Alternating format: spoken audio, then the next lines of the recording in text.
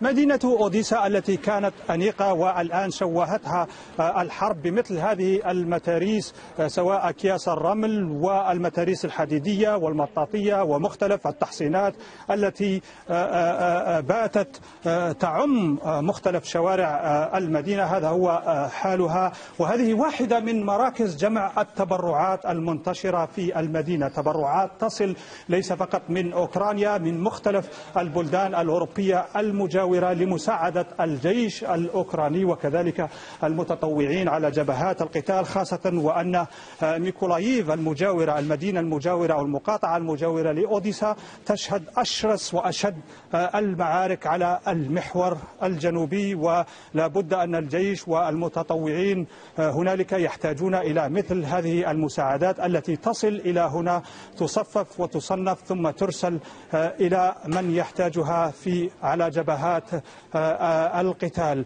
هذه آه، هذه هي المشاهد هنا في هذا في هذا السوق كان سوقا في السابق الآن تحول إلى مركز لجمع التبرعات. هنالك مختلف أنواع التبرعات صيدلية طبية وغذائية وغيرها. تصل العلب إلى هنا وبعد ذلك يتم تجميعها وتصفيفها وتصنيفها بحسب الحاجة وبحسب الجهة التي تحتاجها. هذا السوق كان في الوقت سوقا وأيضا يستخدم للعرض لعروض مختلفة كما تشاهدون هنا التنين الصيني من السنة الماضية. هذا التنين كان للاحتفال بالسنة الصينية وأبقي عليه ولو أن موقف موقف الصين من موقف الصين من العمليات الحربية الجارية في أوكرانيا.